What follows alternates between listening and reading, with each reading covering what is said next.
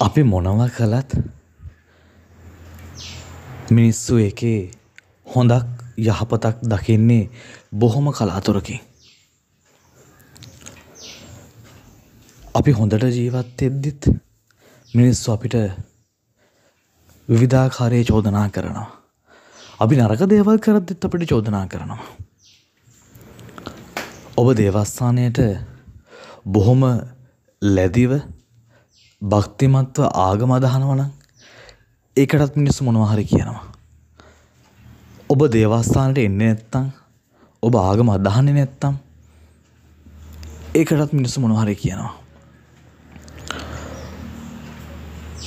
ඔබ කතෝලික ආගමට පහු කාලෙක සම්බන්ධ වුණු වෙනත් ආගමක ඉඳලා සම්බන්ධ වෙච්ච කෙනෙක් නම් සමහර සමහර විට ඔබගේ අර පැරණි විශ්වාසය ඔබ කලින් අදහපු ආගම ගැන කියලා අහවලා මෙහෙමයි මෙහෙමයි කියලා ඔබට චෝදනා කරාවි.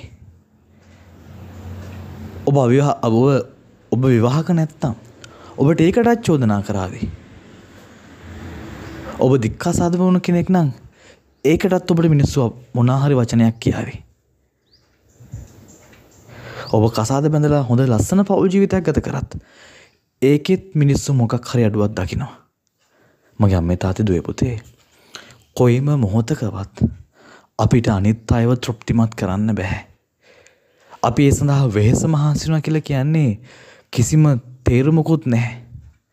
අපේ කාලය ශ්‍රමය අපේ මුදල මේ හැම දෙයක්ම මිඩංගු කරලා වැය කරලා අපි අනිත් අයව තෘප්තිමත් කරන්න එයාලව සනසන්න යනවා කියලා කියන්නේ. ඒක තේරුමක් නෑ මොකද අපි කියන දේවල් පිළිගන්න අනිත් අය සූදානම් නැහැ. අපිව අපි විදිහට බාරගන්නත් මිනිස්සු සූදානම් නැහැ. ඒ නිසා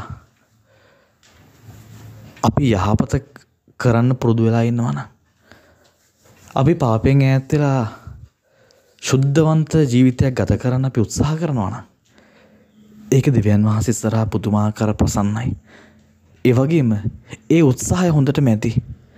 කාටවත් ඔප්පු කරන්න ඕනේ නෑ අපි යහපත් කියලා.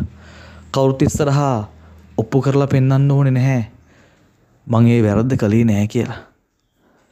බොහොම නිශ්ශබ්දව අපේ ගමන අපි ශුද්ධවන්තව යන් ඔබට ජෙස් පිහිටයි.